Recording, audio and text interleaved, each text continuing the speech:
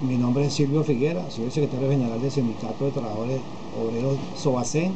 del Instituto Nacional de Parque. resulta ser que la problemática de imparte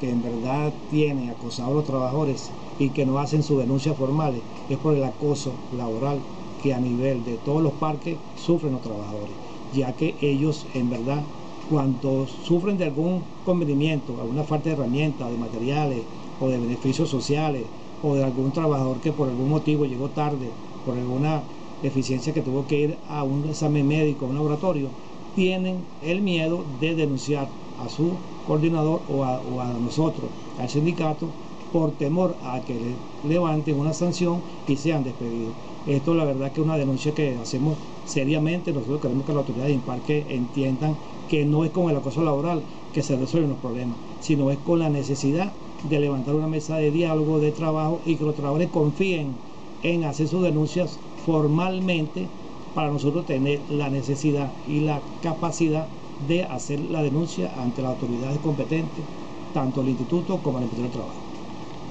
Para el Pitazo, Griselda